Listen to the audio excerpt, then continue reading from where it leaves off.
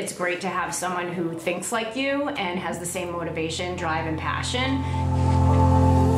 Amy Rose Productions is a commercial photography duo. We really specialize in editorial, fashion, lifestyle, interiors, and food.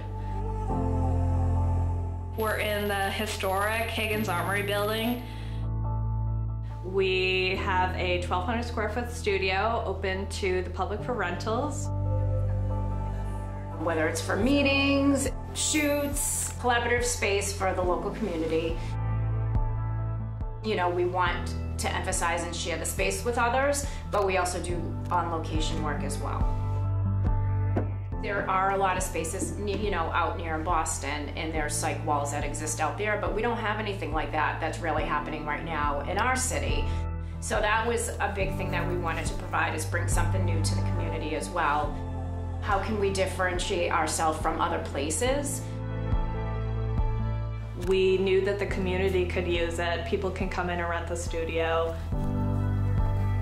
So really there was a lot of consideration made for that space, making sure that it's welcoming, aesthetically pleasing, clean, a really workable shoot space.